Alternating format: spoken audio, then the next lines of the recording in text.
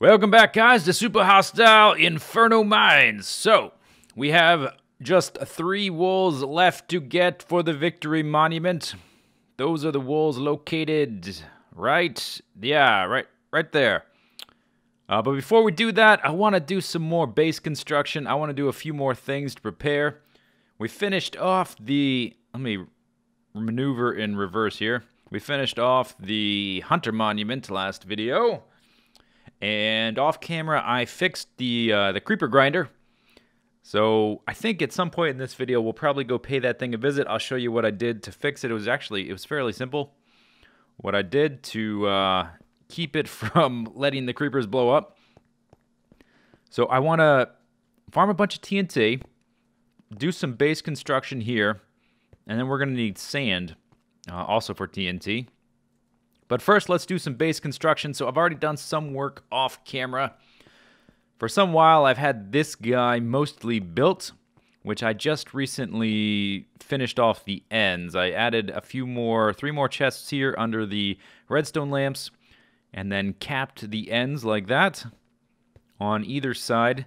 For a while, I was debating on whether or not I would just extend it outwards on either side to add more boxes, chests, whatever or if I would add uh, sort of a secondary storage area for other types of, for blocks basically, because all of these are, for the most part, except for the wood, they're all items uh, that you use in the game, um, but not the blocks that you place. So all the blocks have been sitting here, extremely unorganized. I don't have a, a large amount of them because this isn't you know, a typical Let's Play where I'm farming, where I'm doing mining. Like I haven't done any mining, for instance. You don't mine in Super Hostile, so I don't have a lot of cobblestone, for for example.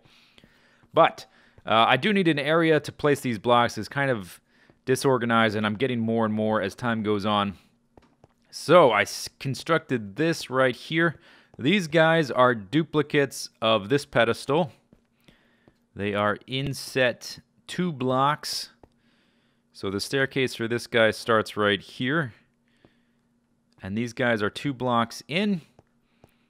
And the staircase for this one is uh, two blocks in from this, which I'll talk about in a second. And here's a little guideline I set up. So I'm going to build something quite similar to that. And it's just going to be in an L shape. I'll probably never fill these. I'm, I'm going to have more than I'll ever need to be honest, which, which is fine. Uh, I kind of want it just for the looks. I made it that size because I thought proportionally it would fill out the area. It would sort of define a corner there with that wall. Kind of like there's no corner there, but we've got a wall there and a wall there, and the Victory Monument there. So we're starting to just define walls very vaguely, but I thought it was important to do that. And I also I uh, I made a new staircase up to the farm area because these slabs um, they didn't fit in with my building style I was using, and it was sort of indirect. Wasn't as quick. I wanted something more direct. So we've got this guy here. I still don't plan to use this area much, to be honest, because I don't need to. I found so much meat, and I find wood in those little uh, loot chests all the time. Uh, so I don't need it that much, but occasionally I do need some wood. So occasionally I do need to go up there and let's see what else. Uh, I moved the bed. I don't have a... We'll probably do a bedroom type thing at some point. Let's see. What do we want to do first? Um, we're going to work on this guy. And it's going to be basically the same as that right there. And the flappaderp right there is going to have to be moved. So let's just on camera, let's finish this corner here. And this is going to be it's going to be a lot of chests. It's probably going to be about the same number as is over there. So that's way more than I'm ever going to need, which is fine. Um, and then I, th I think I want about a two block gap here between these two. So that means the cap for this thing would need to be there. You know, after looking at it, I kind of think the cap should be right here where this pedestal ends just from uh, sort of a visual visual cues vi visual ideas from looking at it so let's do that And let's uh, let's do the same over here. I can't put a torch down because it's a slab. We're gonna have to relocate the flapperderp somewhere. We still need a bedroom. Like that? Yeah, okay, good. Lovely. But those are slabs, so nothing can spawn on them, so it's fine. And I can remove the guideline now. Don't need that. Uh, but before I get to work on this too much, because it's going to be mostly, it's going to be very similar to that, so it should go up fairly quickly. Uh, before we do that, I want to lay down a bunch of dirt. And I do have room in my inventory, so let's make some room like so. Let's put the shovel I just made on the on the menu bar. Quick select, whatever. I went to uh, Mellow Cavern, and I dug up all the dirt in that little area you uh, laddered down to. Uh, it was actually, it was um, mycelium, but I dug it up with a shovel, and it turned into dirt.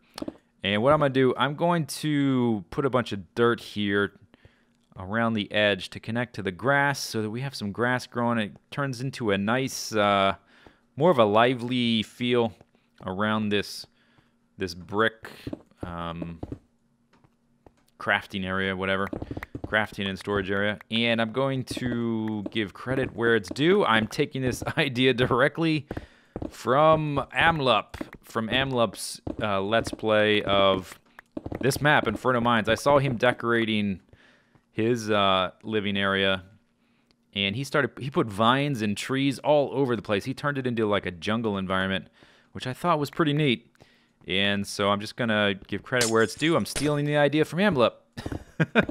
and if you haven't, uh, if you haven't checked out his Let's Play of Inferno Mines, I, I recommend it. There's there's like a uh, a continuum or a maybe not a continuum, but like a um, a sliding scale of playstyles, and at one end is me, and at the other end is Joe Hills, and in between me and Joe Hills is Amlup and Vechs.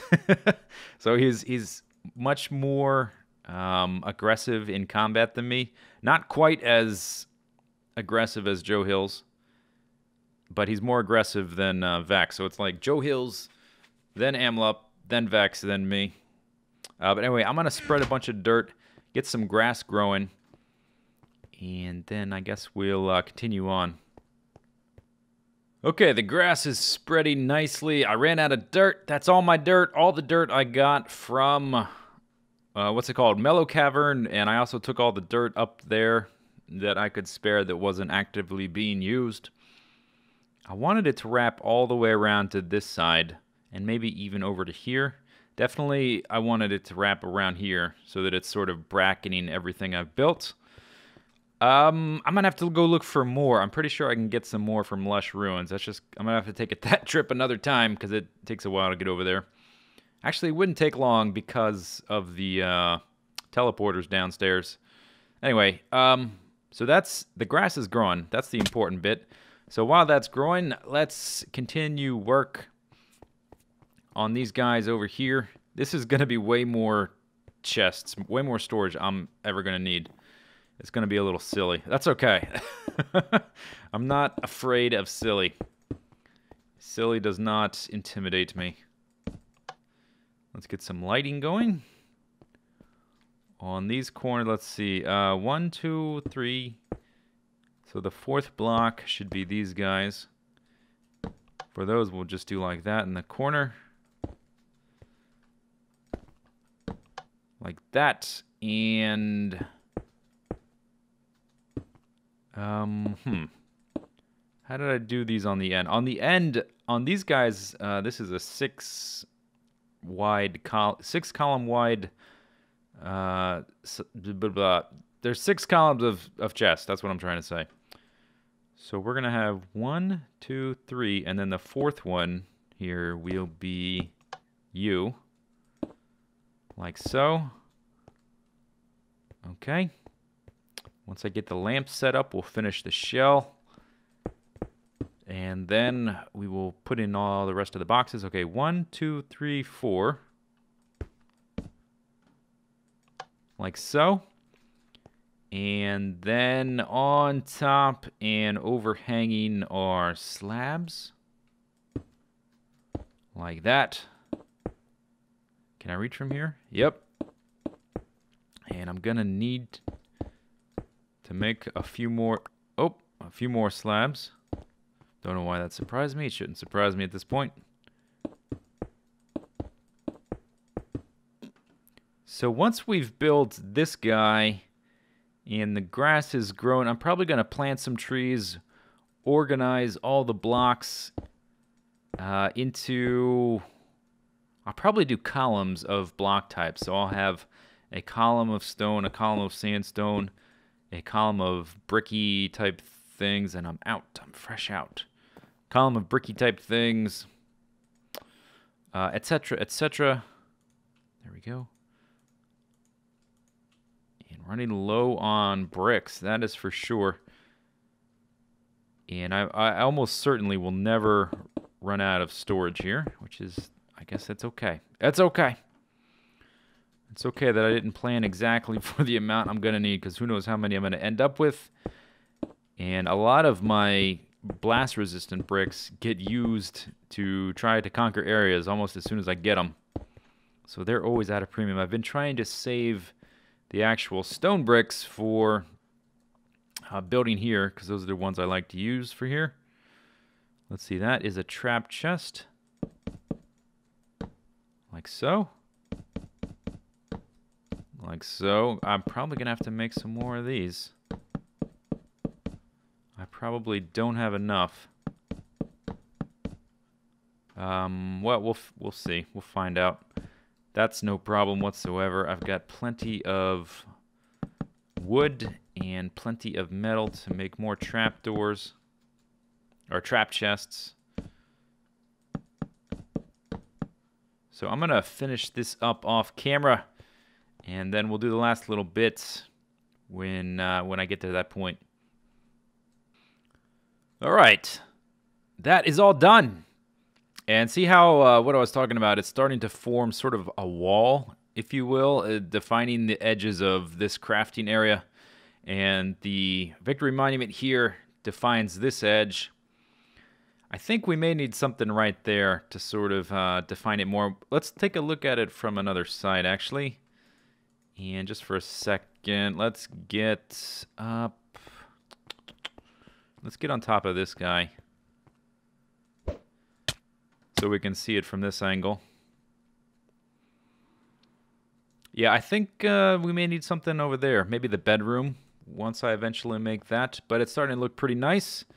So last thing I want to do before we move over to the creeper spawner, or the creeper grinder, is I want to put down some trees and uh, bone meal them up to life. Actually, let me, yeah, that's fine, where it is.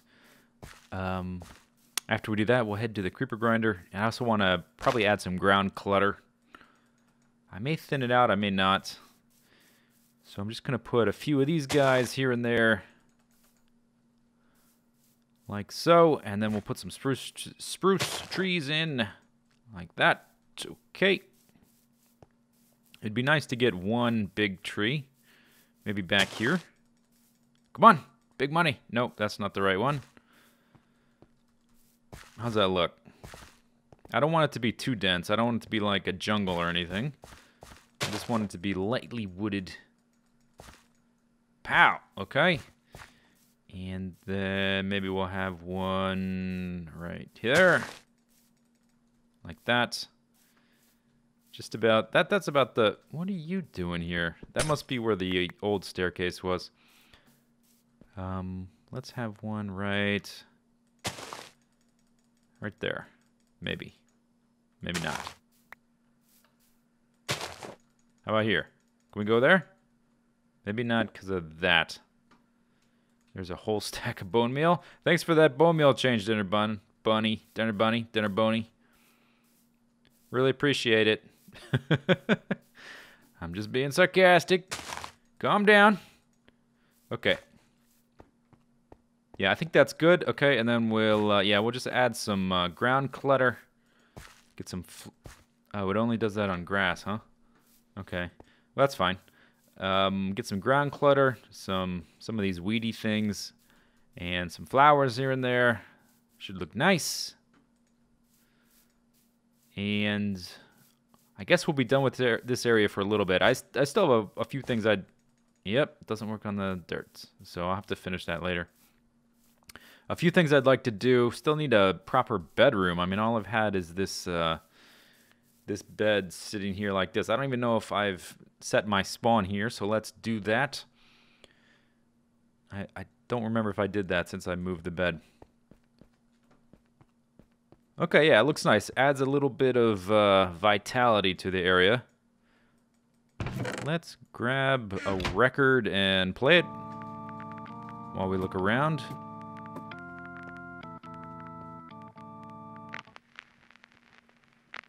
Yeah, I would definitely like it to extend over to here. I'd like to have some trees in the background here. I'm going to need to get more dirt for that. We're going to have to do that another time. i am going to come back here every several episodes to finish, uh, to keep working on it. Okay, so I guess that's it for the construction. Will you be able to hear the music if I go all the way over here to my boxes? It's going to fade, isn't it? Oh, you can still hear it. Good, I was kind of worried about it. I made another one right there. It is a little bit quieter. Oh well. Um, but I think we're ready to head over to the creeper spawner and let me show you what I did there. We're only using half of the storage, not even half of the storage, uh, one fifth of half of the storage. So, uh, what's that, 10%? We've got some bricks, we've got stone and cobble, we've got uh, clay bricks, we've got nether stuff, we've got quartz, sandstone. I actually have two boxes of sandstone. We've got soil types.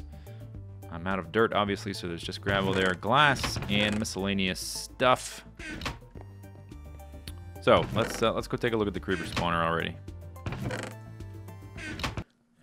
Okay, back to the creeper grinder. So here is the change I made. It was fairly simple. Let's get that zombie downstairs. Okay, so the change I made was that I raised my little observation platform here by several blocks. I think it went... It was, I think, at this level or one block lower, so now we're about three blocks higher. The problem that was happening is that, one, uh, they were too close to me, so once they get to this ledge, they would start to hiss and um, they were jumping up the blocks as other creepers were... Oh, I gotta turn the thing on. That's... whoops. Uh, they were climbing up the blocks as other creepers were providing a little stair step there. I would have provided a, a higher drop there if there wasn't a bedrock floor below. I guess I could have put it one block higher. We've got uh, a little space there that nobody can walk under anyway. So I could have done that. But, um, so that was one problem, that they were climbing up the blocks. The other problem was that once they were about here, they could still see me. So they were trying to path up the blocks to me. Now, they can see me when they're dropping onto this floor. And so they path towards me and jump off this little two block gap and get pushed down below. But once they're beneath this line of sight edge right here, they can't see him anymore, so they're not trying to climb up as aggressively. So they, they just uh, hang out down there like tame little cattle. And then they get to squeeze. They get to squeeze. And even if these guys way down there can see me through these iron bars, they're too far away for their fuse to start up. So this is quite reliable at this point. And the only thing I will do to farm it is close that off so that nothing passed through paths uh, through there. And I'll just do that as well, just in case. And I've uh, I also off camera I went around and I destroyed most of the Blaze and Witch spawners that are just kind of hanging out in this general vicinity. So I'm not worried about those things. But I'm going to be farming up some gunpowder. And I guess we'll... I'm going to head back to Amanita Cavern at some point to get a bunch more sand. I think that is probably still the best place for me to find sand that I can think of. Next time we will start the final three areas of this map looking for the final three pieces of wool. Hope you guys enjoyed the video. See you later. Take it easy. Have a good day. Bye-bye. We give it a squeeze. Yes, yes.